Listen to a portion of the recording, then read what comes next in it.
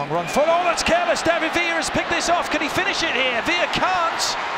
Lopez, and the shot is in! That will do it for NYCFC.